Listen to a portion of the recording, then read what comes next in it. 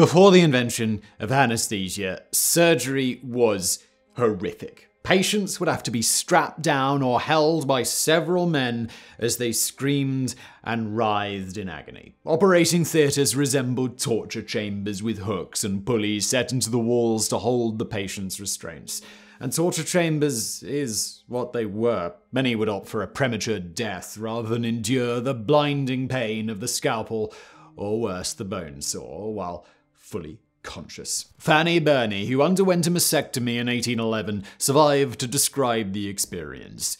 Quote, when the dreadful steel was plunged into the breast, I needed no injunctions not to restrain my cries. I began a scream that lasted unintermittently during the whole time of the incision, so excruciating was the agony. I then felt the knife rattling against the breastbone, scraping it.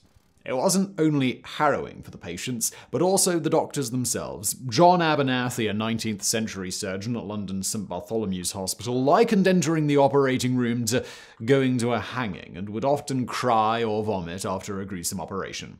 For this reason, surgeons were prized for their speed rather than their cleanliness or attention to detail. Pus mixed with blood in their haste, and post surgery infections killed most. British surgeon Robert Liston became famous for his speed during the 1800s, and he was dubbed the fastest knife in the West End. He'd stride into theatre, instructing his students to time me, gentlemen, time me, and then observe with ticking pocket watches as he cut and amputated. To save time, he'd often hold his bloodied scalpel in his teeth as he sawed at bone. His most famous achievement included a four minute removal of a 45 pound scrotal tumour that was so enormous the patient had been transporting it in a wheelbarrow. He'd also managed a leg amputation in two and a half minutes. Unfortunately, in his hurry, he also removed the patient's testicles. Legend tells that one of his operations led to the death of three people. There was another two and a half minute leg amputation during which he cut off two of his assistant's fingers.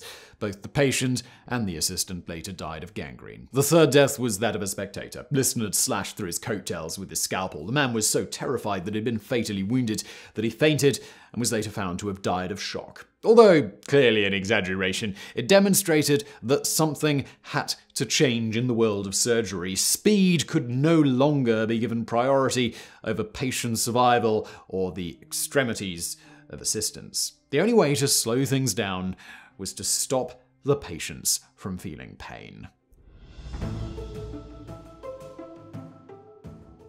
Of course, it's not as though humans hadn't tried. There are records of anesthetic techniques dating back thousands of years. As early as 3400 BCE, Sumerians were thought to have grown and harvested the first opium poppies. They named them the plant of joy, and they used them both medicinally and to calm nerves. Records also tell of their use in ancient Egypt and Rome. A famous user was Emperor Marcus Aurelius, who'd take a honey and opium mixture most nights in order to sleep. While the sweet nightcap with the morphine kick might not sound too bad. Not all early anesthetics were quite so civilized. In 400 BC, Assyrians and Egyptians practiced compression of the carotid artery to knock patients out before circumcision or cataract surgeries. Essentially, they placed people in a chokehold until they lost consciousness, hoping for long enough to perform the procedure. This wasn't the only drug free technique employed. In ancient Italy, they'd place a wooden bowl on a patient's head and beat it until they fell unconscious. Failing brute force, alcohol was used, but the painkilling effects were limited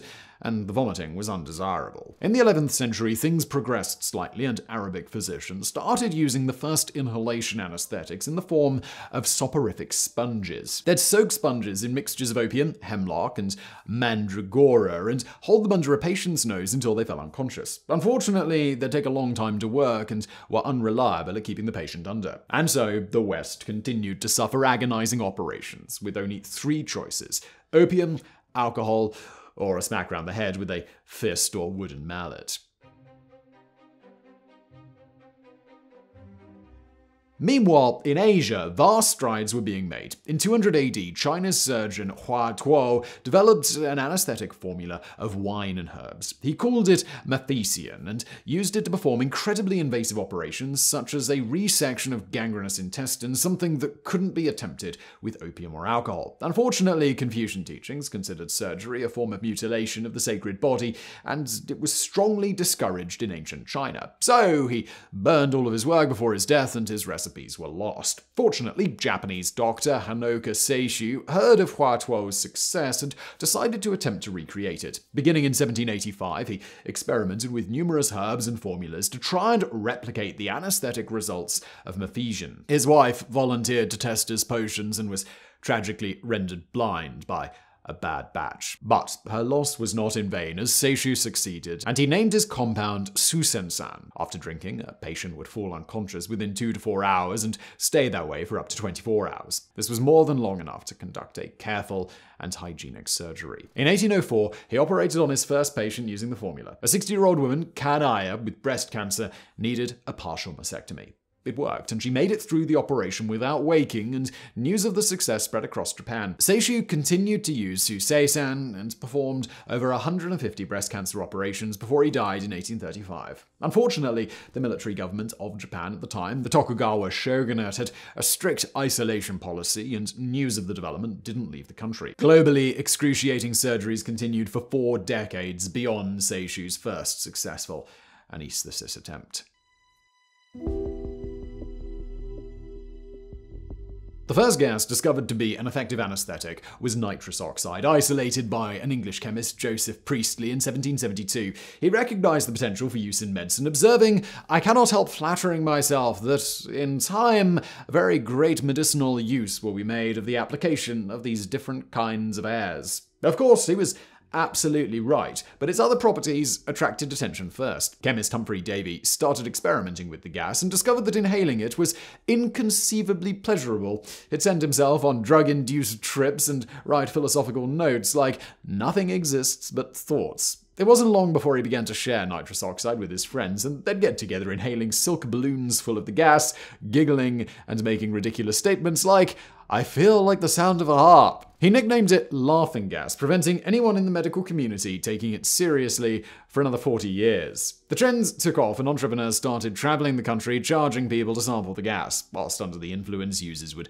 stumble about and act inappropriately, which was often hilarious. So the sellers put them on stage and would make even more money by charging an audience to come and watch their intoxicated clients embarrass themselves. Fortunately, they'd have no recollection of events the next day, and the traveling shows became very popular. In 1844, Gardner Quincy Colton's show, The Grand Exhibition of the Effects Produced by Inhaling Nitrous Oxide, reached Horace Wells. Horace and his friend Samuel Cooley got incredibly high and, according to his wife, made total fools of themselves. After they'd calmed down, Samuel noticed that he felt no pain until the gas had worn off. This gave Wells an idea, and the very next day he inhaled a bag of nitrous oxide before allowing his dental partner, John Riggs, to pull out a tooth that had been bothering him. He felt nothing and declared it the greatest discovery he'd ever made. Wells tried the gas out on a number of his patients before deciding to present it to the medical community. He booked a demonstration at the Massachusetts General Hospital in Boston in January 1845 and prepared for a public tooth extraction. Unfortunately, the gas bag was removed too soon, and the patient woke up and cried out in pain. Wells was booed and jeered at. His discovery was declared a humbug, and he was just left humiliated. A former apprentice of Wells, dental student William Morton, recognized the potential of nitrous oxide and wanted to continue his work. However, he didn't want a repeat of the shameful failed demonstration in Massachusetts, so instead turned his attention to a stronger agent ether. It was first synthesized by German alchemist Valerius Cordus in 1540 by distilling ethanol and sulfuric acid. He called it the sweet oil of vitriol and noted it quiets all suffering without any harm and relieves all pain and quenches all fevers and prevents complications in all diseases. Despite these observations, its medicinal applications weren't pursued and humanity endured hundreds more years of conscious tooth extractions thanks to this little oversight. Just as with nitrous oxide, ether was used recreationally and was famed for the ether frolics of the upper classes. Morton noted that it had the same anesthetic effects as nitrous oxide but was more powerful. He decided to pursue it, but took no chances and used it on his goldfish spaniel, two assistants, and himself before giving it to a real patient. In September 1846, Eben Frost was given ether before his dental extraction and woke up to declare that it felt no pain at all. The success attracted attention, and Morton realized ether's potential wasn't limited to dentistry but could also revolutionize general surgery. And it was time for a public performance. Morton was a dentist, not a surgeon, but he managed to find one who was happy to help. So in October 1846, surgeon John Warren completed what was thought to be the world's first surgical procedure using anesthesia a tumor excision under the jaw of 20 year old George Abbott. The operation was watched by a crowd of doctors and medical students who'd witnessed Wells's failed demonstration and humiliation just two years before. Remarkably, Abbott didn't wake as the scalpel was plunged into his neck, and he survived the surgery untraumatized. On completion of the procedure, Warren famously declared, Gentlemen, this is no humbug. News of the success spread quickly across the globe, with hundreds of surgeons clamoring to try the method for themselves. The first in Europe to attempt it was none other than Time Me Gentleman, Robert Liston, who was finally able to painlessly amputate a patient's leg without accidentally castrating anybody. Morton himself was ambitious and eager to see his discovery make him rich. He couldn't patent ether, as it had long been used for other things, so he mixed it with orange oil and opium and named it Letheon. Of course, everyone knew what the active ingredient was, and the patent was useless. He continued to seek fame and wealth for the rest of his life, entering into bitter disputes with rivals who claimed to have been key to the discovery. One of these was Wells, who'd been Morton's tutor, and the other was Charles Jackson, a chemist who claimed to have been the one who'd suggested using ether on patients in the first place. Morton ultimately won the acknowledgments, and the 16th of October is now known as Ether Day, the day of Morton's successful public ether demonstration. However, he never found fortune, even after trying and failing to petition Congress to award him $100,000 for his achievements and he died penniless. Jackson was never given recognition and couldn't overcome the bitterness he felt. He spent the last seven years of his life in an asylum. And finally, there's Wells. He fell into a deep depression following his humiliation, which was exacerbated by Morton's ether success. He began experimenting with a range of anesthetic drugs and became addicted. In one episode, he got so high that he went out into the street and threw sulfuric acid at two prostitutes. He was sent to jail, where he sliced his femoral artery with a razor and died. Ironically, despite the bitter feuds and tragic endings, neither Morton, Jackson, nor Wells were the first to discover ether's incredible application. Crawford Long, a surgeon in Georgia, had begun using ether in his surgeries in 1842 after noticing its effects during his own ether frolics. So, in fact, the first anesthetized operation wasn't on George Abbott's jaw, but James Venable's cyst. He'd agreed to be a guinea pig for Long due to his intense dislike of pain. Long had delayed publishing and didn't get around to it until 1849, missing out on the accolades and his own national day. While ether was a massive leap forward, it wasn't perfect. Almost one in every 15,000 patients died, usually when the dose was too high. It also smelled awful, irritating patients' airways, and it was flammable, which made cauterization dangerous. So the frantic race was on to find new drugs without the unpleasant side effects. The search didn't last long, as in November 1847, Scottish professor James Simpson began administering chloroform to women during childbirth, and it quickly became popular in general surgery too. Chloroform was discovered in 1831 by American physician Samuel Guthrie.